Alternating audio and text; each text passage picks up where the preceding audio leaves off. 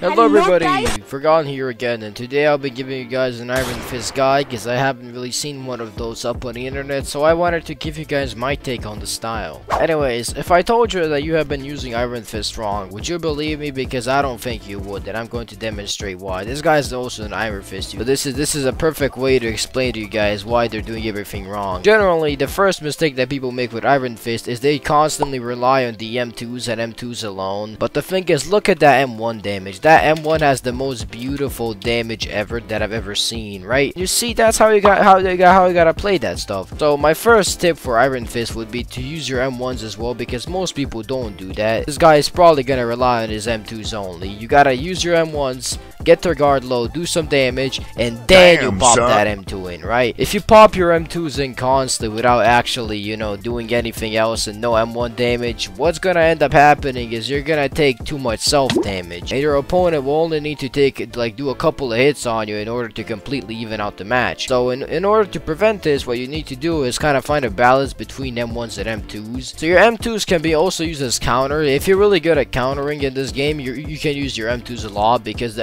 M2s with counter damage do so much that it makes taking self damage worth it.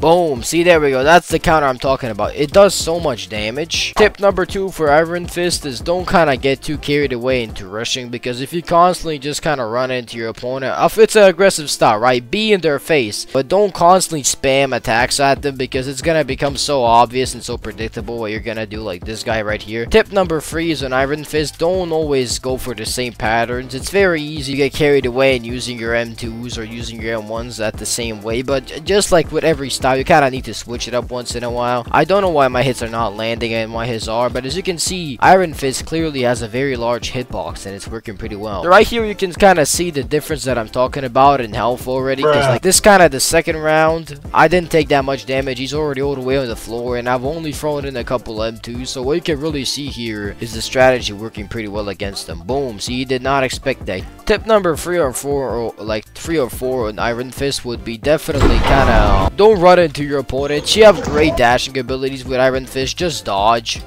Literally, just just dodge like that. It's not that deep. But yeah, you use that. See, eh, very good, eh, very good, very good. Use those to your advantage as you please. Boom, and that's that.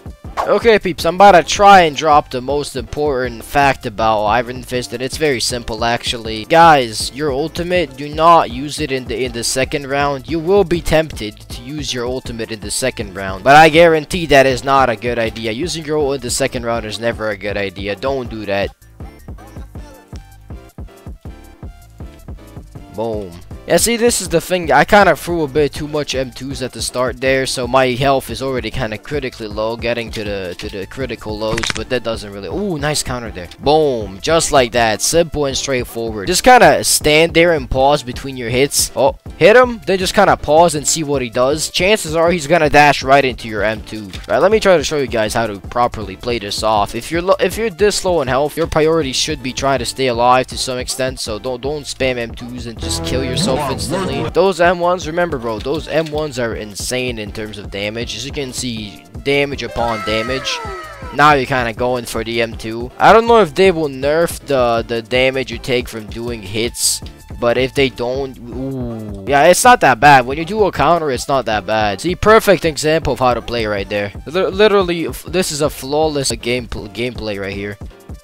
Boom, flawless, flawless. We're, we're low on the health. We killed ourselves, but at least we got him down. In in perspective, if you put that in perspective, we didn't take that much damage. We only took about 15% of our health bar. So in return, we got him down, which is pretty convenient. I think he's just gonna... Oh, he just quit on me. As you can see, that those are the results of your training. Guys, hopefully that demonstrates uh, for you guys how to use Iron better. If you have any other style questions or any other style you want me to review and give you a guide on, let me know in the comments down below. Uh, like video, goodbye.